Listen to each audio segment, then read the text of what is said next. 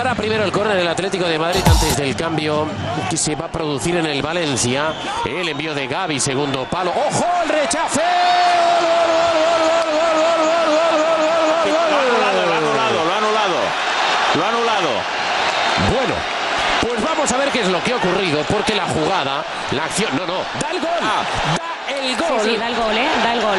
Da el gol Flos Gómez, acaba de marcar Raúl García en una jugada para analizar profundamente, porque nace de un terrible rechace de Vicente Guaita, que golpea muy mal la pelota con el puño, acaba habilitando a Raúl García que Axel solo tiene que meter la cabeza y empujar el balón dentro de la portería del Valencia. Si adelante el Atlético de Madrid en el 71, marca Raúl García. Valencia 0, Atlético de Madrid 1 en la ida de los octavos de final de la Copa del Rey. Bueno, se pide fuera de juego, pero es que quien toca es Guaita, ¿no? ¿Fuera de juego de quién? O sea, ¿cómo puede ser fuera de juego? Bueno, fuera de juego es imposible, por mucho que se pida, no, puede existir. Ah, no hay nada ilegal en el gol. Ni ahí ni aquí. Sí, sí. Bueno, el Ha habido cambio en el Valencia. Se ha retirado Bernat y ha entrado. Ahí va el Valencia. Qué bueno el centro para Feguli, el remate.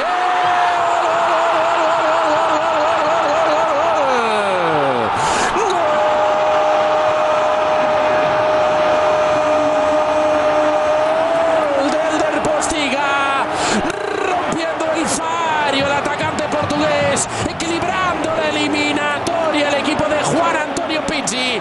A 10 segundos para llegar al 93, cuando el partido moría en Mestalla, la jugada rápida del Valencia, el balón que llegó a la cabeza de este hombre que la empujó para batir a Thibaut Courtois, que esta vez nada pudo hacer. Marca el Valencia, marca el Postiga en Mestalla. Pedazo de eliminatoria en Gol Televisión. Valencia 1, Atlético de Madrid 1, Axel. Sí, lo merecía absolutamente el Valencia, no perder el partido. Guardado eh, conduce, mete un centro sensacional tras llegar muy lejos con la pelota. No olvidemos que está de lateral.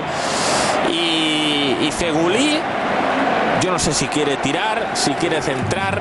No sé cuál era su intención, pero la verdad es que la, la pone al lugar correcto, porque descoloca totalmente además a los centrales. Los centrales retroceden, los centrales van a...